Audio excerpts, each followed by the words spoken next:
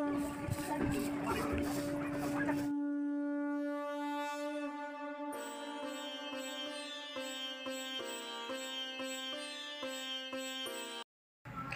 guys welcome to my new vlog मैंने बहुत दिन से व्लॉग नहीं बनाए थे तो अभी मैंने बहुत टाइम बाद आज व्लॉग में बना रही हूँ। आज मैं जाने वाली हूँ भोजपुर और मैंने नई स्कूटी ली है तो उसी से भोजपुर जाएँगी जाऊँगी। मैं आपको वीडियो दिखाती हूँ, चलिए फिर।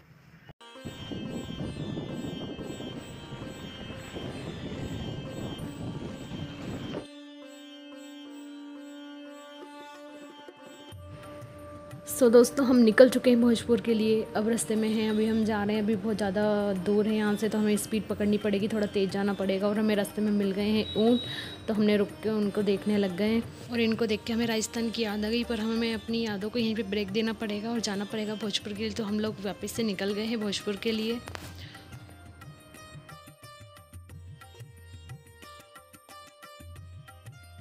भोजपुर से करीब डेढ़ दो किलोमीटर पहले एक चामुंडेश्वरी माता जी का मंदिर मिलता है और आपको ज़रूर जाना चाहिए मंदिर में। और अब हम आ चुके हैं बाबा महाकाल की नगरी में भोजपुर की नगरी में भोजपुर की सीमा में। और यहाँ पे बहुत अच्छा व्यूज़ दिख रहा था पहाड़ पेड़ पौधे सिर्फ़ एक किलोमीटर और हम जस्ट पहुँचने वाले हैं।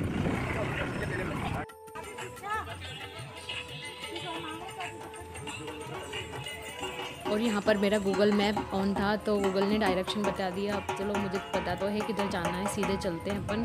अब यहाँ से अंदर चलते हैं मंदिर में। और मैं आज बहुत खुश हूँ कि मुझे बाबा ने बुलाया है और बाबा जिसको बुलाते हैं, उसी को मौका मिलता है आने का। बाकी चाहे कोई कितना ही कुछ कर ले, लेकिन वो नहीं आ पाते, ये हकीकत बात है। तो चलिए, अब अपन अंदर चलते हैं और आपको मैं पूरा व्यू दिखाती हूँ मंदिर का। इस मंदिर की एक खासियत है कि इस इस मंदिर को एक ही रात में बनाया गया था और इस मंदिर के अंदर जो शिवलिंग है उसको एक ही पत्थर से बनाया गया था। और जब मंदिर का निर्माण हो रहा था और छत का निर्माण होने वाला था तो उस समय सुबह हो गई थी और मंदिर के कार्य को रोक दिया गया था। और इस मंदिर को अधूरा माना जाता है अभी। इस मंदिर के लिए दो कथाएँ प्रचलित है। पहला के वनवास के समय मंदिर को पांडवों के द्वारा बनाया गया था और ऐसा बोलते हैं कि भीम घुटनों के बल बैठ करके इस शिव मंदिर के शिवलिंग की पूजा करते थे, फूल चढ़ाते थे।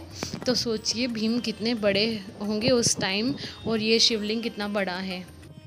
और इस मंदिर का निर्माण द्वापर युग में पांडवों के द्वारा किया गया था, ऐसा बोलते हैं। और दूसरी मान्यता के अनुसार इस मंदिर का निर्माण मध्य भारत के परमार वंशी राजा भोज देव द्वारा ग्यारहवीं सदी में करवाया गया था। और आपको तो पता ही होगा, राजा भोज भोजपाल के राजा थे मतलब भोपाल को पहले भोजपाल बोलते थे। और वर्तमान की अगर हम बात करें तो ये मंदिर जो है, ऐतिहासिक स्मारक के रूप में भारतीय पुरातत्व विभाग के संरक्षण के अधीन है। और यहाँ पर शिवरात्रि के दिन प्रतिवर्ष भोजपुर उत्सव का आयोजन किया जाता है। सो दोस्तों, मैंने मंदिर के बारे में आपको जानकारी दे दी। अब चलिए आगे चलते हैं। तो यहाँ पर बहुत सारे बंदर थे। उनको कोई ना कोई, कुछ ना कुछ खिला रहा था, कोई चने खिला रहा था, कोई क्या। तो मैंने सोचा, क्यों ना मैं वीडियो बना लूँ और मुझे तो डर लग रहा था तो मैंने कुछ नहीं खिलाया। सो गाइस अगर आपको मेरा व्लॉग अच्छा लगा हो तो मेरे चैनल को करें सब्सक्राइब और वीडियो को करें लाइक ताकि आपको नेक्स्ट वीडियो की अपडेट मिलती रहे। अब हम निकल चुके हैं घर के लिए तो मिलते हैं नेक्स्ट वीडियो में। बाय